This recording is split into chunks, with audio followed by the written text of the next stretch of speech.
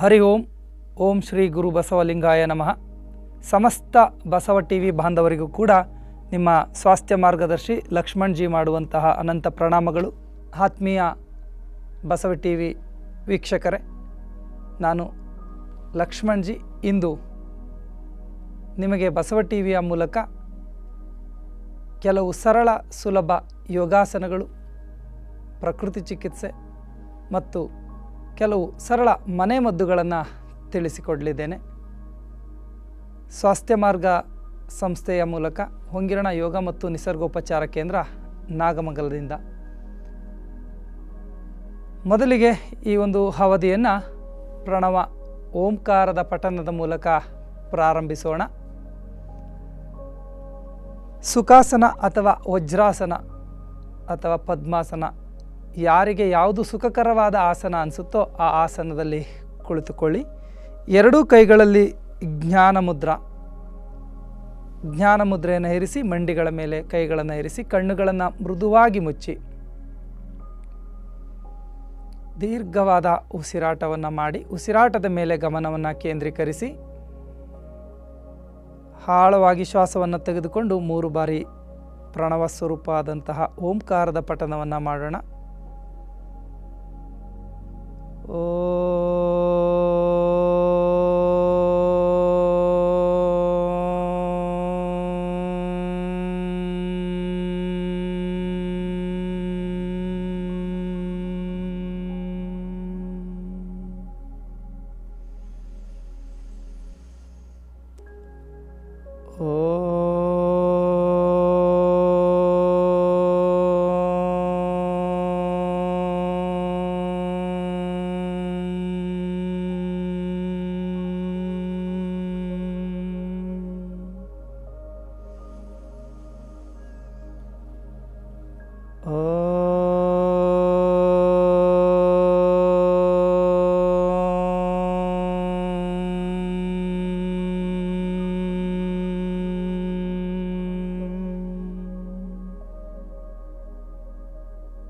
ಮೂರು ಬಾರಿ ಮಾನಸಿಕ ಓಂಕಾರ. ಮಾನಸಿಕ ಓಂಕಾರವನ್ನು ಮುಕ್ತಾಯಗೊಳಿಸಿ ಎರಡೂ ಕೈಗಳನ್ನು ನಮಸ್ಕಾರ ಮುದ್ರೆಗೆ ತನ್ನಿ. ಓ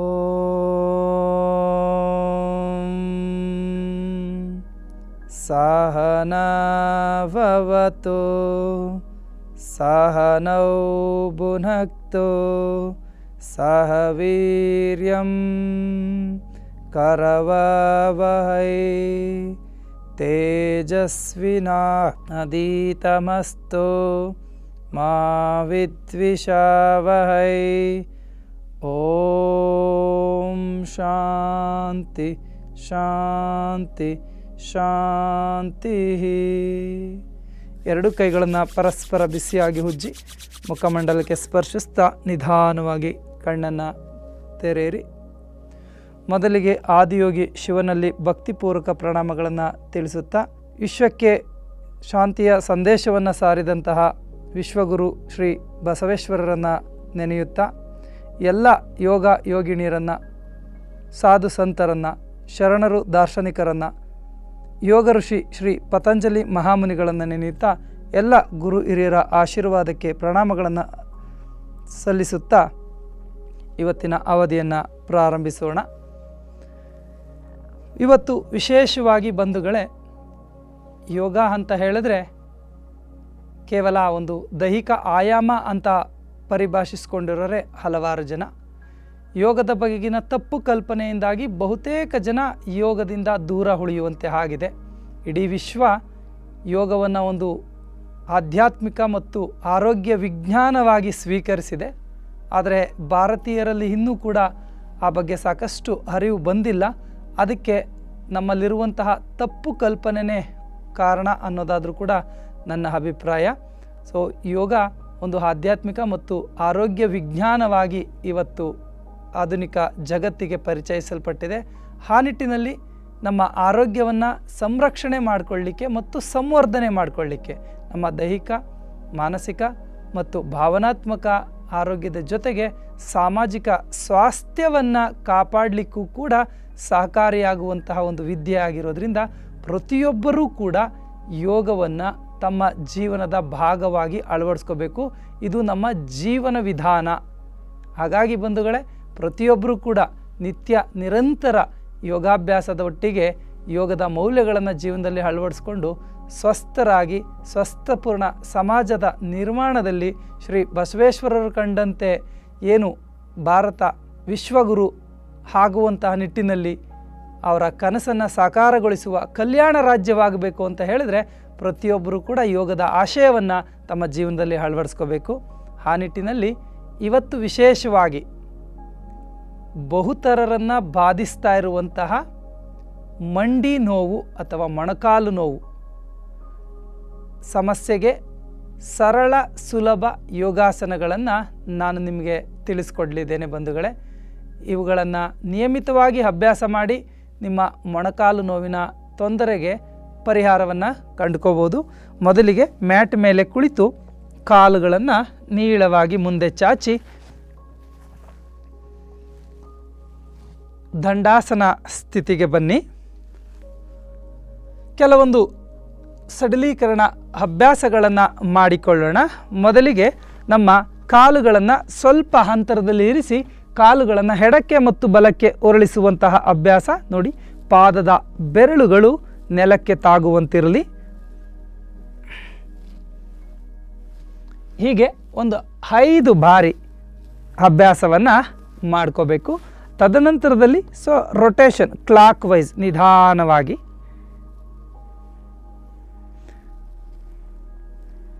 ಹಾಗೆ ಆಂಟಿ ಕ್ಲಾಕ್ ವೈಸ್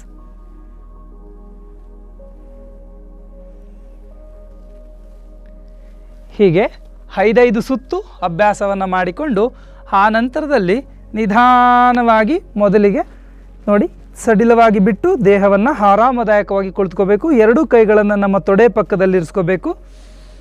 ಶ್ವಾಸವನ್ನು ತೆಗೆದುಕೊಳ್ಳುತ್ತಾ ನೀಳವಾಗಿ ಕಾಲುಗಳನ್ನು ಹೊಳಮುಖವಾಗಿ ಎಳೆದುಕೋಬೇಕು. ಮಂಡಿ ಚಿಪ್ಪನ್ನು ಬಿಗಿಗೊಳಿಸಬೇಕು.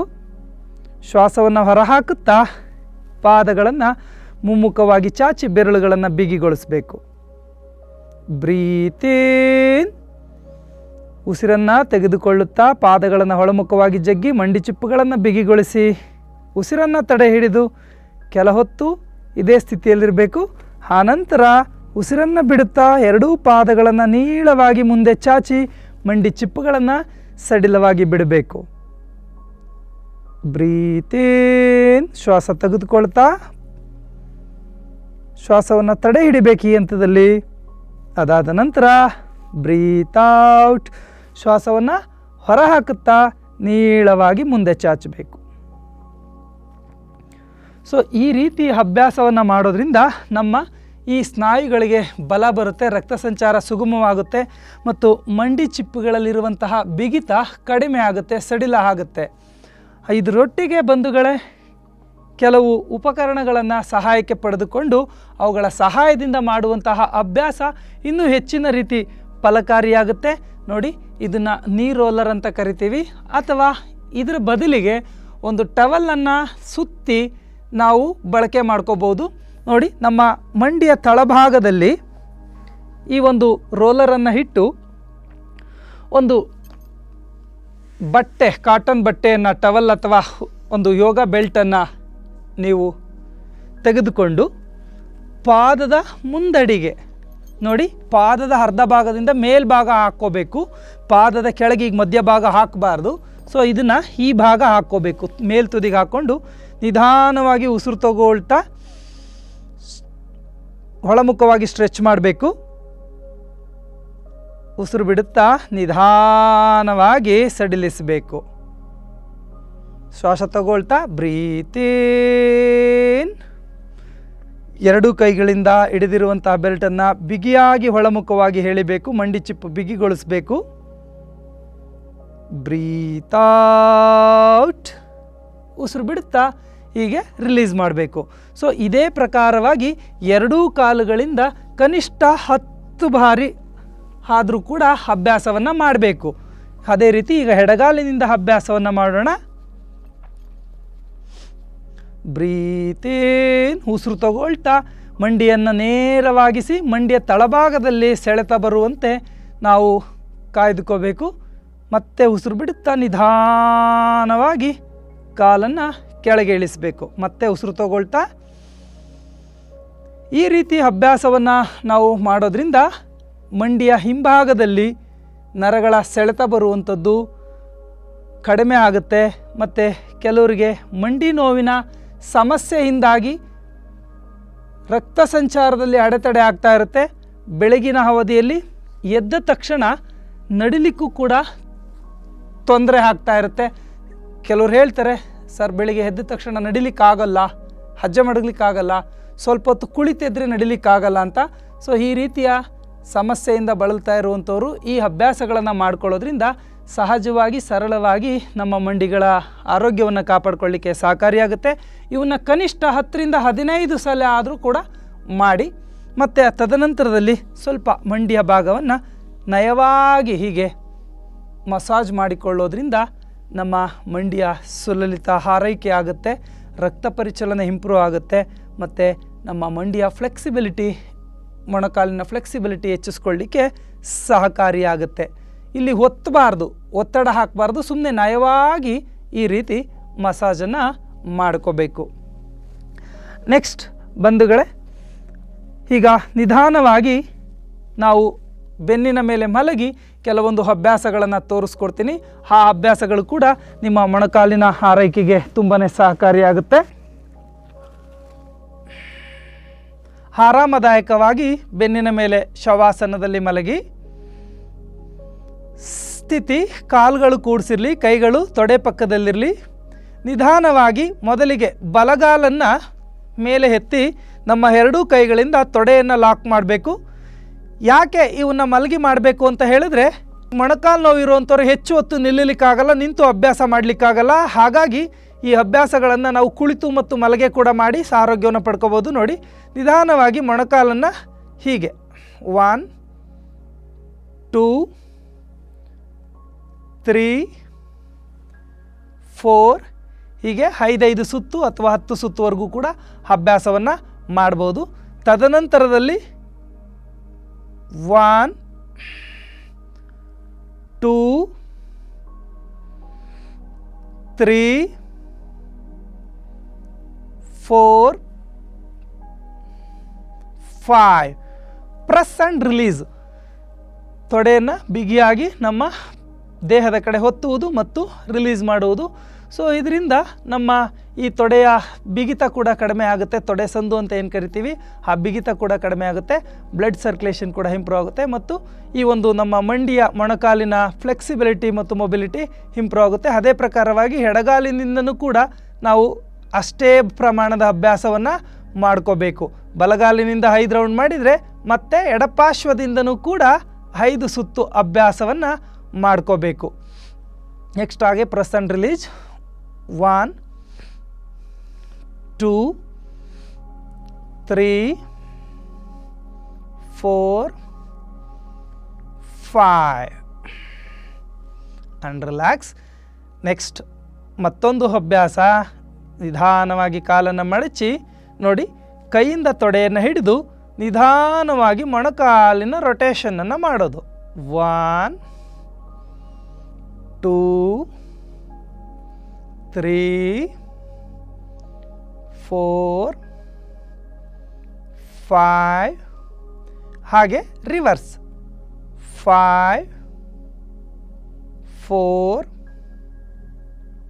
three two one ಅದೇ ಪ್ರಕಾರ ಎಡಗಾಲಿನಿಂದ ಅಭ್ಯಾಸ clockwise one two three four five ಹಾಗೆ reverse five four three two one ವಿಶ್ರಾಂತಿ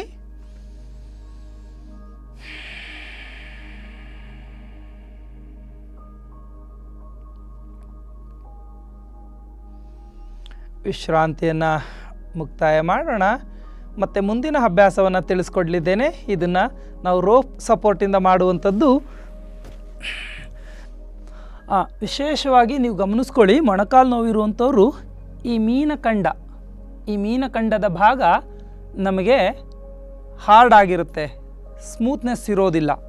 ಯಾಕೆ ಅಂದರೆ ಈ ಭಾಗಕ್ಕೆ ರಕ್ತ ಪರಿಚಲನೆ ಸರಿಯಾಗಿ ಆಗ್ತಾ ಇರೋದಿಲ್ಲ. ಸೊ ಹಾಗಾಗಿ ಈ ಭಾಗ ಮೊಣಕಾಲು ನೋವಿನಿಂದ ಬಳಲ್ತಾ ಇರೋವಂಥವ್ರಿಗೆ ರಕ್ತ ಪರಿಚಲನೆ ಸರಿಯಾಗಿ ಆಗದಲ್ಲೇ ಹಾರ್ಡ್ ಆಗಿರುತ್ತೆ ಗಟ್ಟಿಯಾಗಿರುತ್ತೆ. ಸೊ ಈ ಭಾಗದಲ್ಲೂ ಕೂಡ ಸೆಳೆತ ಬರ್ತಾ ಇರುತ್ತೆ, ನೋವುಗಳಾಗ್ತಾ ಇರುತ್ತೆ. ಸೊ ಹಾಗಾಗಿ ಈ ಭಾಗಕ್ಕೆ ರಕ್ತ ಪರಿಚಲನೆಯನ್ನು ಮಾಡಲಿಕ್ಕೆ ನಾವು ಸರಳ ಸುಲಭವಾಗಿ ಮಾಡ್ಕೋಬೋದಾದಂಥದ್ದು ಹಾಕ್ಯುಪ್ರೆಷರ್. ನೋಡಿ, ಹೀಗೆ ಪಾದವನ್ನು ಹಿಡಿದು ಮೊದಲಿಗೆ ನಿಮ್ಮ ಬಲಗೈಯಿಂದ, ಕಣಕಾಲನ್ನು ಹಿಡಿದು ಎಡಗೈಯಿಂದ ಹೀಗೆ ಪಾದವನ್ನು ಹಿಡಿದು ನಿಧಾನವಾಗಿ ಈ ಆ್ಯಂಕಲ್ ರೊಟೇಷನನ್ನು ಕ್ಲಾಕ್ ವೈಸು ಮತ್ತು ಆ್ಯಂಟಿ ಕ್ಲಾಕ್ ವೈಸು ಮಾಡ್ಕೊಳ್ಳೋಣ. ಬಹುತೇಕ ಜನರಿಗೆ ಮಂಡಿ ನೋವು ಸಮಸ್ಯೆ ಶುರುವಾಯಿತು ಅಂತ ಹೇಳಿದ್ರೆ ಸಮಸ್ಯೆಯಿಂದಾಗಿ ಈ ಹ್ಯಾಂಕಲ್ ಮೂಮೆಂಟ್ ಕಡಿಮೆ ಆಗ್ತಾ ಬರುತ್ತೆ. ಸಣ್ಣ ಪುಟ್ಟ ವೇರಿಯೇಷನ್ ಇದ್ದರೂ ಕೂಡ ಅವರು ನಡಿಲಿಕ್ಕಾಗೋದಿಲ್ಲ ಯಾಕೆಂದರೆ ಇದು ವೇರಿ ಇಲ್ಲಿ ಸ್ಟ್ರಕ್ ಆಗಿರುತ್ತೆ. ಸೊ ಹಾಗಾಗಿ ಈ ಮೂಮೆಂಟು ಈ ಹ್ಯಾಂಕಲ್ ಮೂಮೆಂಟ್ ಕೂಡ ತುಂಬ ಇಂಪಾರ್ಟೆಂಟ್ ಆಗುತ್ತೆ. ಸಹಜವಾಗಿ ನಾವು ಬ್ಯಾಲೆನ್ಸ್ ಮಾಡಿ ನಡಿಲಿಕ್ಕೆ. ಹಾಗಾಗಿ ಈ ಹ್ಯಾಂಕಲ್ ಮೂಮೆಂಟನ್ನು ನಾವು ಇಂಪ್ರೂವ್ ಮಾಡ್ಕೋಬೇಕು. ಅದಕ್ಕೆ ಇದು ಸಹಕಾರಿಯಾಗುತ್ತೆ ತದನಂತರದಲ್ಲಿ ನಿಮ್ಮ ಎರಡೂ ಕೈ ಬೆರಳುಗಳ ಸಹಾಯದಿಂದ ನಮ್ಮ ರಕ್ತ ಪರಿಚಲನೆಯನ್ನು ಹೆಚ್ಚಿಸ್ಕೊಳ್ಳಿಕ್ಕೆ ಈ ರೀತಿ ಕಾಲುಗಳನ್ನು, ಪಾದವನ್ನು ಪ್ರೆಸ್ ಮಾಡುವುದು, ಅಂದರೆ ಹಾಕ್ಯುಪ್ರೆಷರ್ ಮಾಡುವುದು. ಹೀಗೆ ಇಡೀ ಪಾದವನ್ನು ನೀವು ಪ್ರೆಸ್ ಮಾಡ್ಕೊಳ್ತಾ ಬಂದರೆ ನಿಮ್ಮ ಆಕ್ಯುಪ್ರೆಷರ್ ಪಾಯಿಂಟ್ಗಳು ಸ್ಟಿಮ್ಯುಲೇಟ್ ಆಗ್ತವೆ. ಪಾದದಿಂದ ಮೇಲ್ಮುಖವಾಗಿ ಅಶುದ್ಧವಾದ ರಕ್ತ ಚಲನೆ ಆಗಿ ಮತ್ತೆ ಶುದ್ಧವಾದ ರಕ್ತ ಪರಿಚಲನೆ ಆಗಲಿಕ್ಕೆ ಸಹಕಾರಿಯಾಗುತ್ತೆ. ಹೀಗೆ ಇಡೀ ಪಾದವನ್ನು ಒಂದೇ ಸಮನೆ ನಿಮ್ಮ ಹೆಬ್ಬೆರಳುಗಳ ಸಹಾಯದಿಂದ ಹೀಗೆ ಹೊತ್ತಿಕೊಳ್ಳುವುದು. ಇದು ಆಕ್ಯುಪ್ರೆಷರ್ ಚಿಕಿತ್ಸೆ ಆಗುತ್ತೆ. ಮತ್ತು ಪಾರ್ಶ್ವದಿಂದ ಹೀಗೆ ಪಾದವನ್ನು ಸ್ವಲ್ಪ ಒತ್ತುವಂತಹ ಅಭ್ಯಾಸವನ್ನು ಕೂಡ ಮಾಡ್ಕೊಳ್ಳೋದ್ರಿಂದ ಪಾದಗಳು ಹಗುರವಾಗ್ತವೆ, ರಕ್ತ ಪರಿಚಲನೆ ಸುಗಮವಾಗಿ ಆಗುತ್ತೆ. ತದನಂತರದಲ್ಲಿ ನಾವು ನಮ್ಮ ಎರಡೂ ಕೈಗಳ ಸಹಾಯದಿಂದ ಲಘುವಾಗಿ ನಮ್ಮ ಮೀನಖಂಡವನ್ನು ಹೊತ್ತುವಂತಹ ಪ್ರಕ್ರಿಯೆಯನ್ನು ನಾವು ಮಾಡ್ಕೋಬೇಕು. ಈ ಪಾರ್ಶ್ವವನ್ನು ನಾವು ಹೀಗೆ ಹೊತ್ತಿಕೊಳ್ಳುವಂತಹ ಚಿಕಿತ್ಸೆಯನ್ನು ನಾವು ಮನೆಯಲ್ಲೇ ಮಾಡ್ಕೋಬೋದು ಹೀಗೆ ಮಾಡೋದ್ರಿಂದ ಅಂಗಮರ್ದನ ಆಗುತ್ತೆ. ಇದರಿಂದ ದೋಷಪೂರಿತವಾದಂತಹ ಜಾಗದಲ್ಲಿ ನಿಮಗೆ ರಕ್ತ ಪರಿಚಲನೆ ಆಗಿ ಆ ದೋಷಗಳು, ನೋವುಗಳು ನಿವಾರಣೆ ಆಗಲಿಕ್ಕೆ ಸಹಕಾರಿಯಾಗ್ತವೆ.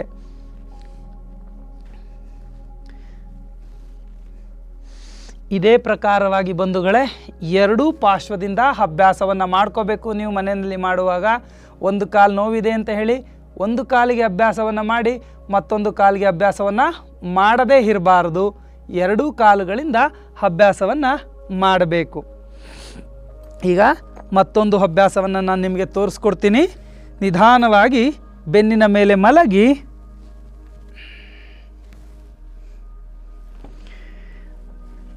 ರೋಪ್ ಅಥವಾ ಬೆಲ್ಟ್ ಅಥವಾ ನಿಮ್ಮ ಯಾವುದಾದ್ರೂ ಒಂದು ರೋಪನ್ನು ತೆಗೆದುಕೊಂಡು ನಿಮ್ಮ ಕಾಲಿನ ಮುಂತುದಿಗೆ ಹಾಕಿ ಕಾಲನ್ನು ನೇರವಾಗಿಸಿ ನಲವತ್ತೈದು ಡಿಗ್ರಿ ಹೋರೆಯಾಗಿ ಹಿಡಿದುಕೊಳ್ಳುವುದು. ಉಸಿರಾಟ ಸಹಜವಾಗಿರಬೇಕು. ಈ ಸಂದರ್ಭದಲ್ಲಿ ನಮ್ಮ ಮೊಣಕಾಲನ್ನು ಬೆಂಡ್ ಮಾಡಿರಬಾರ್ದು, ಗಮನಿಸ್ಕೊಳ್ಳಿ. ಮೊಣಕಾಲು ನೇರ ಇರಬೇಕು. ಪಾದವನ್ನು ಒಳಮುಖವಾಗಿ ಜಗ್ಗಿ ಹಿಡಿಬೇಕು. ಹೀಗೆ. ಉಸಿರಾಟವನ್ನು ಸಹಜವಾಗಿ ಮಾಡ್ತಾ ಇರಬೇಕು.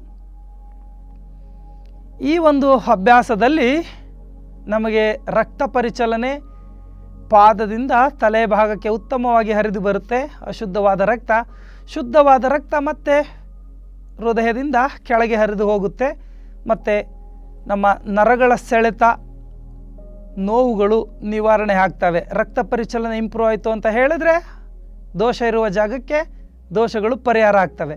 ಸೊ ಇದೇ ರೀತಿ ಒಂದೊಂದು ನಿಮಿಷ ಒಂದೊಂದು ಸ್ಥಿತಿಯಲ್ಲಿರಬೇಕು. ಸ್ಥಿತಿಯನ್ನು ಗಮನಿಸ್ಕೊಳ್ಳಿ ಬಂಧುಗಳೇ. ಒಮ್ಮೆ ನೇರವಾಗಿ ತದನಂತರ ನಲವತ್ತೈದು ಡಿಗ್ರಿ ಹೋರೆಯಾಗಿರಲಿ ಸ್ವಲ್ಪ ಬಲಪಾರ್ಶ್ವಕ್ಕೆ ಕಾಲನ್ನು ಕ್ರಾಸ್ ಮಾಡಬೇಕು. ಹೀಗೆ.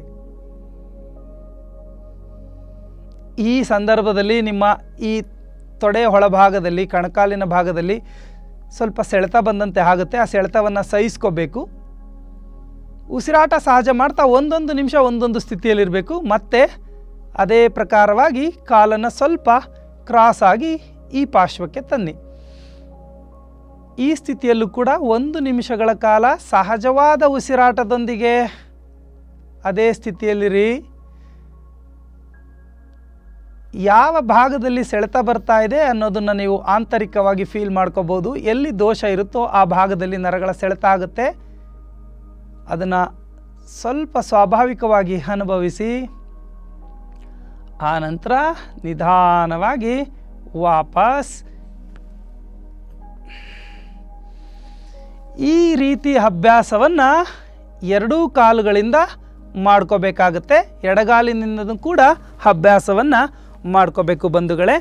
ಸೊ ಇವು ಸರಳವಾಗಿರುವಂಥವು, ಸುಲಭವಾಗಿರುವಂಥವು. ಮತ್ತು ನೋಡಿ, ಕುಳಿತಲ್ಲೇ ನಾವು ನಮ್ಮ ಕಾಲುಗಳಿಗೆ ರಕ್ತ ಪರಿಚಲನೆಯನ್ನು ಹೆಚ್ಚಿಸ್ಕೊಳ್ಳಿಕ್ಕೆ ಮಾಡ್ಬೋದಾದಂಥ ಮತ್ತೊಂದು ಸುಲಭ ಅಭ್ಯಾಸ, ಎರಡು ನಿಮ್ಮ ಪಾದಕ್ಕೆ ಹೀಗೆ ಬೆಲ್ಟನ್ನು ಹಾಕಿ ಎಡಗೈಯನ್ನು ಪಾರ್ಶ್ವದಲ್ಲಿರಿಸಿ ಉಸಿರು ತಗೊಳ್ತಾ ನಿಧಾನವಾಗಿ ಕಾಲನ್ನು ಮೇಲೆ ಎತ್ತಿ ಉಸಿರನ್ನು ಹೊರಹಾಕುತ್ತಾ ನಿಧಾನವಾಗಿ ಪಾರ್ಶ್ವಕ್ಕೆ ಚಲಿಸುವುದು ಕಾಲನ್ನು. ನಾನು ಮತ್ತೊಂದು ಪಾರ್ಶ್ವದಿಂದ ಮಾಡ್ತೀನಿ, ಅವಾಗ ನಿಮಗೆ ಸ್ಥಿತಿ ಗೊತ್ತಾಗುತ್ತೆ. ಮತ್ತೆ ನಿಧಾನವಾಗಿ ವಾಪಸ್. ಈಗ ಎಡಪಾರ್ಶ್ವದಿಂದ ಅಭ್ಯಾಸ ಮಾಡಿ ತೋರಿಸ್ತೀನಿ, ಗಮನಿಸ್ಕೊಳ್ಳಿ. ನೋಡಿ ಉಸಿರು ತಗೊಳ್ತಾ ನಿಧಾನವಾಗಿ ಕಾಲನ್ನು ಮೇಲೆ ಎತ್ತಿ ನಿಧಾನವಾಗಿ ಸ್ಟ್ರೆಚ್ ಮಾಡೋದು, ಪಾರ್ಶ್ವಕ್ಕೆ ಚಲಿಸೋದು ಕಾ ಪಾದವನ್ನು. ಹೀಗೆ ಚಲಿಸಿದಾಗ ನಿಮ್ಮ ಕಣಕಾಲಿನ ಭಾಗದಲ್ಲಿ ಸೆಳೆತ ಬರುತ್ತೆ, ರಕ್ತ ಪರಿಚಲನೆ ಚೆನ್ನಾಗಾಗುತ್ತೆ ನೋವುಗಳು ಶಮನ ಆಗ್ತವೆ, ಮತ್ತು ನಿಧಾನವಾಗಿ ವಾಪಸ್. ಇಷ್ಟೊತ್ತು ಕೆಲವೊಂದು ಉಪಯುಕ್ತ ಅಭ್ಯಾಸಗಳನ್ನು ನೋಡಿದ್ದೀರಿ ಬಂಧುಗಳೇ. ಇದರೊಟ್ಟಿಗೆ ದೇಹದಲ್ಲಿ ಸಂಚಿತವಾಗಿರುವಂತಹ ದೋಷಗಳು ನಿವಾರಣೆ ಆಗಬೇಕು. ಅದರೊಟ್ಟಿಗೆ ಒಂದು ಮುದ್ರೆಯನ್ನು ಹೇಳ್ಕೊಡ್ತೀನಿ. ಜಲಮುದ್ರೆ ಅಥವಾ ವರುಣ ಮುದ್ರೆ ಅಂತೇಳಿ ಕರಿತೀವಿ.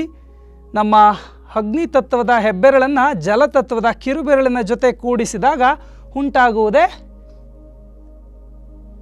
ಜಲಮುದ್ರ ಅಥವಾ ವರುಣ ಮುದ್ರ ಸೊ ಈ ಮುದ್ರೆಯನ್ನು ಮಾಡೋದ್ರಿಂದ ನಮ್ಮ ಮಂಡಿ ಚಿಪ್ಪಿನ ಸವಕಳಿ ಅಂತ ಏನು ಕರಿತೀವಿ? ಇತ್ತೀಚಿನ ದಿನಗಳಲ್ಲಿ ಮಂಡಿ ಚಿಪ್ಪು ಸೌದೋಗ್ತಾ ಇದ್ದಾವೆ. ಜೆಲ್ ಇಲ್ವಂತೆ ಅಂತ ಕೇಳ್ತೀರಿ. ಆ ಕಾರ್ಟಿಲೇಜ್ ಅನ್ನುವಂಥ ಲೂಬ್ರಿಕೇಷನ್ ಲಿಕ್ವಿಡ್ಡು ನಮ್ಮಲ್ಲಿ ಕಡಿಮೆ ಆಗೋದ್ರಿಂದ ಅಲ್ಲಿ ಘರ್ಷಣೆ ಆಗುತ್ತೆ. ಸೊ ಹಾಗಾಗಿ ಮಂಡಿ ಚಿಪ್ಪಿನ ಸವಕಳಿ ಉಂಟಾಗುತ್ತೆ ಅಂದರೆ ಘರ್ಷಣೆಯನ್ನು ಸವಕಳಿ ಅಂತ ಕರಿತೀವಿ. ಸಾಂದ್ರತೆ ಕಡಿಮೆ ಆಗಿ ಮೂಳೆದು ಹಾಗಾಗಿ ಅದನ್ನು ತಪ್ಪಿಸ್ಲಿಕ್ಕೋಸ್ಕರ ಈ ಜಲಮುದ್ರೆಯನ್ನು ಮಾಡೋದ್ರಿಂದ ನಮಗೆ ಸ್ವಾಭಾವಿಕವಾಗಿ ಕಾರ್ಟಿಲೇಜ್ ಉತ್ಪತ್ತಿಯಾಗುತ್ತೆ ಕನಿಷ್ಠ ಹದಿನೈದು ನಿಮಿಷಕ್ಕೆ ಕಡಿಮೆ ಇಲ್ಲದಂತೆ ನಿತ್ಯದಲ್ಲಿ ಎರಡು ಮೂರು ಬಾರಿ ಜಲಮುದ್ರೆಯನ್ನು ವರುಣ ಮುದ್ರೆಯನ್ನು ನೀವು ಅಭ್ಯಾಸ ಮಾಡೋದ್ರಿಂದ ಕಾರ್ಟಿಲೇಜನ್ನು ಇಂಪ್ರೂವ್ ಮಾಡ್ಕೋಬೋದು. ಇದರೊಟ್ಟಿಗೆ ದೈನಂದಿನ ಜೀವನದಲ್ಲಿ ನಿಮ್ಮ ಮೊಬಿಲಿಟಿ ಮತ್ತು ಫ್ಲೆಕ್ಸಿಬಿಲಿಟಿನ ಇಂಪ್ರೂವ್ ಮಾಡಿಕೊಳ್ಳಿಕ್ಕೆ, ಆರೋಗ್ಯವನ್ನು ಸಂವರ್ಧನೆ ಮಾಡಿಕೊಳ್ಳಿಕ್ಕೆ, ಯೋಗಾಭ್ಯಾಸದಲ್ಲಿ ನಿರತರಾಗಿ ನಿಮ್ಮ ಆರೋಗ್ಯವನ್ನು ಕಾಪಾಡಿಕೊಳ್ಳಿ ಅಂತ ಹೇಳ್ತಾ ಇವತ್ತಿನ ಅವಧಿಯನ್ನು ಮುಕ್ತಾಯ ಮಾಡ್ತಾ ಇದ್ದೀವಿ. ಧನ್ಯವಾದಗಳು.